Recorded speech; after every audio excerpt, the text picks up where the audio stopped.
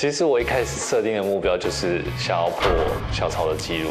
经过这次有教练调了姿势，都有跳到大会纪录的大概第二名的这个成绩，所以我对这次跳远其实是蛮有信心的。吴世安他在测试赛跳出了五米二一，其实只比徐谋俊啊短了一公分而已。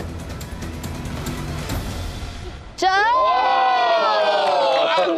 一跳，只是有点小可惜了。安安的屁股先着地了。其实呢，安安如果在最后他的屁股没有坐下来，他一定是又在更远。对，如果他的屁股是往右边或往左边去扑倒的话，那这样子的话，可能成绩成绩还会好一点的。但至少他坐到原地的时候，他整个人没有往后面倒。如果往后面倒的话，我想可能又又又又要推负了不少的成绩了。就没有破。红队第三棒吴世安第一次试跳成绩五米六七。他目前是第二名的大会纪录，哎，五米六七已经超越了本来的第二名潘君伦的五米四三，呢。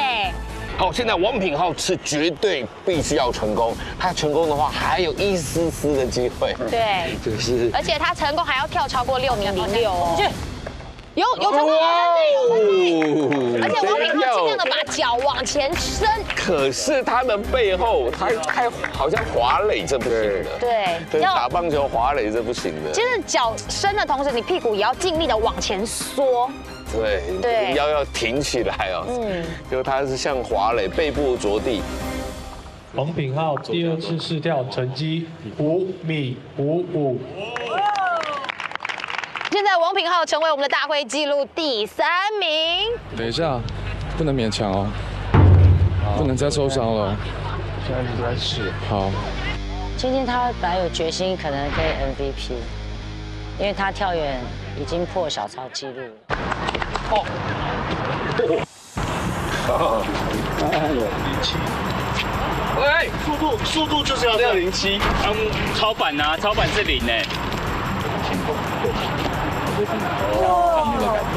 进去，脚还要再蹬，脚要踢，把沙子踢起来。如果如果你不踢的话，你脚就是这样，插在这里。就像他们刚刚很多人就是这样。对哦，这样。但是如果你有踢，脚进去做，就差很多。